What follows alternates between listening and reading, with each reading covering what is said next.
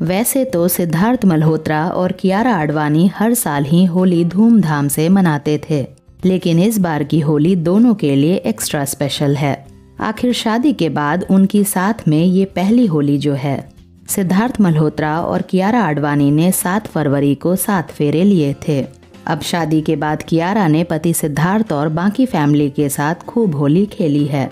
सिद्धार्थ मल्होत्रा ने होली की कुछ तस्वीरें शेयर की है। जिनमें वो और कियारा रंग में डूबे नज़र आए। सिद्धार्थ और कियारा ने एक दूसरे को रंग और गुलाल लगाने में कोई कसर नहीं छोड़ी। पति के साथ पहली होली की चमक और रौनक कियारा के चेहरे पर साफ़ झलक रही है। सिद्धार्थ मल्होत्रा ने अपने इंस्टाग्राम पर होली की तस्वीरें शेयर कर लिखा मिसेज के साथ पहली होली। सिद्धार्थ और कियारा की पहली होली की ये तस्वीर सोशल मीडिया पर छाई हुई है। फैंस और सेलेब्स ने भी सिद्धार्थ और कियारा को पहली होली की बधाई दी। फैंस का कहना है कि वो इसी फ़ोटो का इंतज़ार कर रहे थे। कुछ ने इसे होली का बेस्ट गिफ्ट भी बताया है।